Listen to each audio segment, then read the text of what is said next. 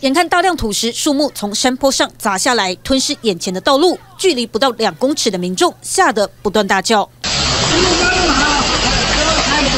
恐怖的山崩发生在陕西刘坝境内的国道，因为受到暴雨影响，山区土石松动，无预警大面积崩塌。虽然道路封闭抢修，但幸运的是没有造成人员伤亡。无情的暴雨连续好几天轰炸陕西，雨停了，水还是退不了。从空拍画面看，多处市区街道民宅都还泡在水里。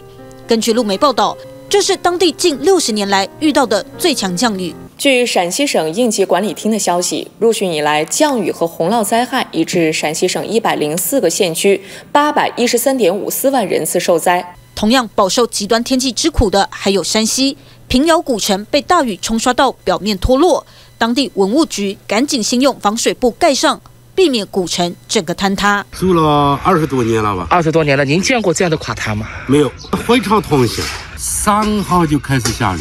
下的比比较大，积水根本不能冲嘛，直接冲下来。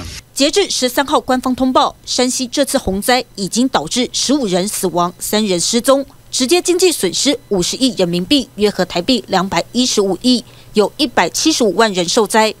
水患都还没结束，让民众和官方更头痛的是，气象预报今年冬天当地将会迎来极端寒冷天气。这几天气温就会下探零度，救灾和民生都将面临严峻考验。TVBS 新闻综合报道，请支持专门报道国际新闻的全新 YouTube 频道 TVBS 国际 Plus，扩大视野，掌握趋势。邀请您订阅并且开启通知小铃铛。